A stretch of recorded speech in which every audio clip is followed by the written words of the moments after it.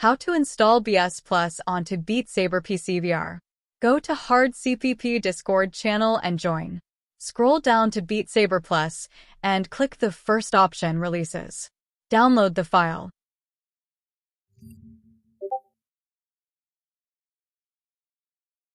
Extract the file and move the new plugins folder onto your desktop.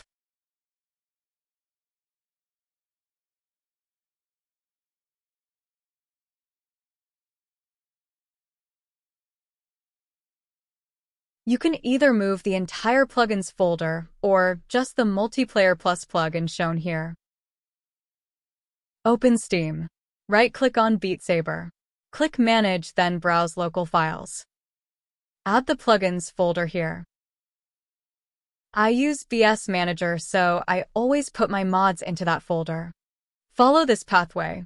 C drive, users, computer name, documents, BS Manager. BS instances.